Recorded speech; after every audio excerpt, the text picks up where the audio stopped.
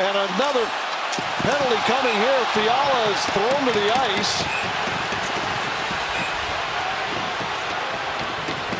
Larsson grabbed him and threw him down as Fiala was otherwise in on a breakaway against Grubauer. Again, Fiala with some jump. Takeaway in the neutral zone.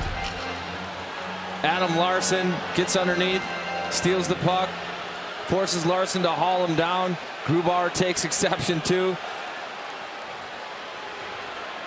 Seattle number six, minor penalty holding. And that illustrates. I mean, we've talked about how well Kevin Fiala has played as of late, it hasn't just been the offensive production. The skating's there, the battle level is there.